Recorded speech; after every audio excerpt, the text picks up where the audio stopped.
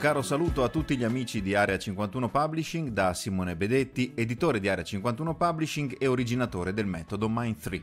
Anche oggi una nuova dose di sana motivazione quotidiana contro il logorio della vita moderna. Iniziamo subito il nostro allenamento quotidiano.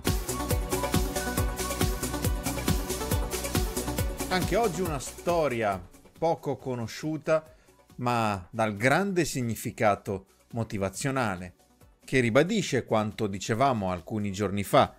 In fondo ci troviamo di fronte sempre di più, scopriamo sempre di più che vi sono dei nuclei tematici motivazionali, quasi che ci fosse una sorta di coerenza, togliendo il quasi ovviamente dal mio punto di vista, ma empiricamente lo scopriamo insieme giorno dopo giorno, una coerenza che ci mostra come vi siano delle categorie ben definite, dei gruppi ben definiti, dei nuclei appunto ben definiti e che tutte le esperienze o la maggior parte delle esperienze possano ricondursi a quei nuclei motivazionali definiti, che non sono infiniti, ma le cui applicazioni sono infinite come infiniti sono gli esseri umani o perlomeno molto numerosi, sono gli esseri umani e le loro storie.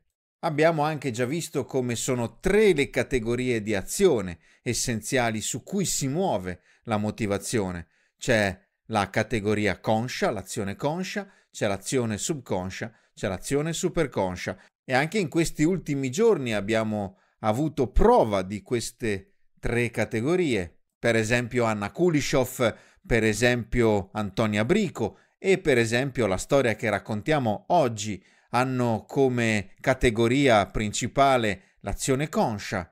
Invece abbiamo avuto occasione di apprezzare John Newton e il suo inno Amazing Grace ed ecco che abbiamo potuto apprezzare l'azione superconscia, spirituale e la motivazione che ci è venuta dal poeta Walter D. Wintle riguardava certo l'intenzione conscia, ma aveva a che fare con la programmazione subconscia. Vi ricordate? L'uomo che pensa di vincere è colui che vince. Ovviamente il pensiero è un pensiero che si imprime a livello subconscio. Tre categorie che abbiamo definito e alcuni nuclei tematici che in futuro ci impegniamo a definire, che ci vuole un po' più di tempo a definire, ma non è impossibile farlo.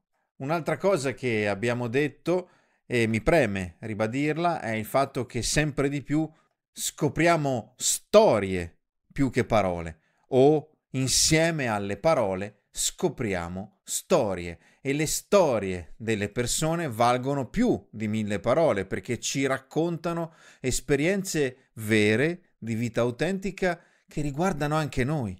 Ci parlano di persone che sono come noi e che hanno raggiunto risultati che oggi anche sono stati dimenticati, ma che restano nella memoria, restano nella storia, ma soprattutto restano nella loro esistenza, hanno dato compimento, realizzazione alla loro esistenza, un senso profondo, ricco. Questa è la vera ricchezza che scopriamo la vera ricchezza che ci racconta la storia di oggi, la storia se non del primo, sicuramente di uno dei primi grandi chef francesi.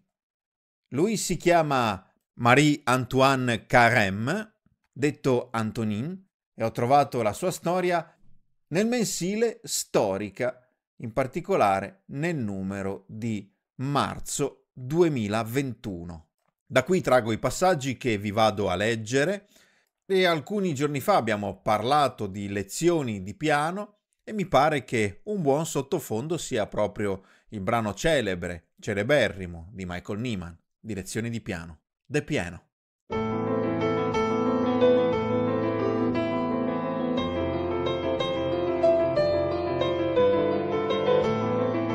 Marie-Antoine Carême, detto Antonin, Nacque a Parigi l'8 giugno 1784 da Marie-Jean Pascal e Jean-Gilbert Carême. Non si sa molto di loro, si sa però che erano una famiglia molto numerosa. Pare infatti che la coppia avesse generato fra i 15 e i 25 figli. Antonin visse in famiglia fino a un'età compresa tra i 9 e i 12 anni. Dopodiché, secondo la leggenda, il padre lo portò a pranzo in una trattoria e saldato il conto si congedò dal figlio con queste terribili parole. Questi sono gli ultimi soldi che posso spendere per te. Non si rividero mai più.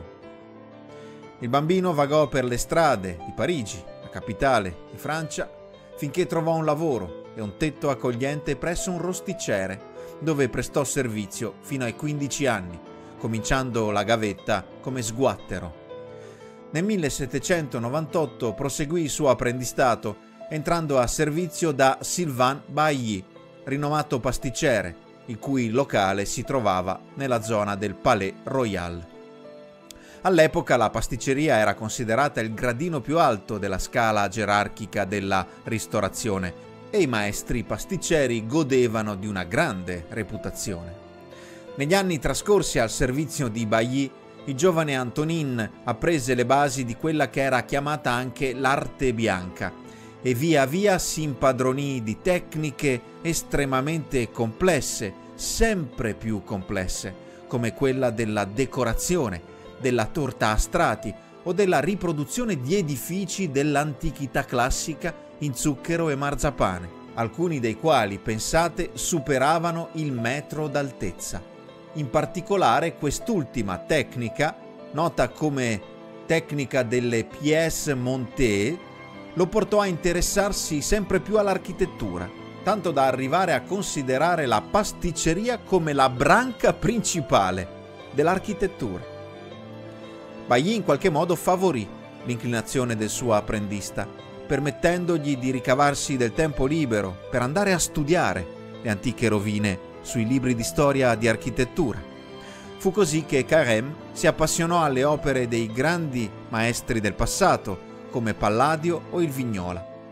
Ed ecco che il nostro eroe aprì allora la sua prima pasticceria. Fu Boucher, lo chef del ministro degli esteri Charles Maurice Talleyrand Perigot, a scoprirne le doti e a volerlo con sé. E fu lo stesso importantissimo politico francese, basandosi sulla qualità del lavoro di Carême, a proporgli di diventare collaboratore nei catering diplomatici, appoggiandosi alla rinomata pasticceria Gendron. Il sodalizio fra Carême e Talleyrand durò ben 12 anni e nonostante le differenze di rango fra i due si creò se non un'amicizia, perlomeno un rapporto di stima e simpatia.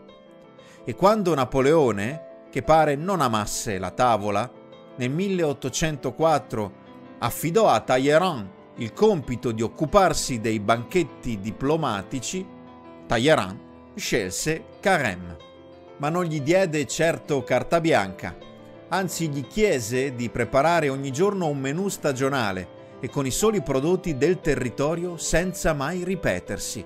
Una sfida insolita per un'epoca in cui le tavole altolocate offrivano piatti esclusivi e costosi.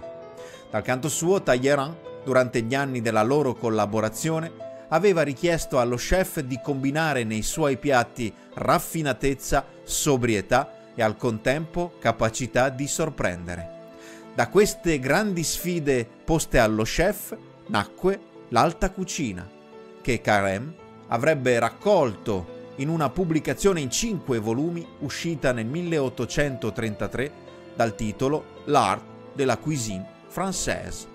E pensate che al nostro eroe viene attribuita l'invenzione della divisa da cuoco e del toque blanche, il cappello alto indossato ancora oggi dai grandi chef. Già in passato i cuochi usavano dei copricapi, ma il nostro Carême ebbe l'idea di inserirvi un pezzo di cartone per tenerli alzati, in modo da permettere una maggiore aerazione del capo e di conseguenza di limitare il sudore. Che ne dite? Non è una storia straordinaria? E non è soprattutto la storia di un uomo che ha vissuto la sua vita al massimo grado, che ha vissuto la sua vita nella sua massima espressione, che ha vissuto la sua migliore vita? Questa è la vita che vale la pena di vivere. Mi auguro, ci auguro, che questa sia anche la nostra vita, la vostra vita.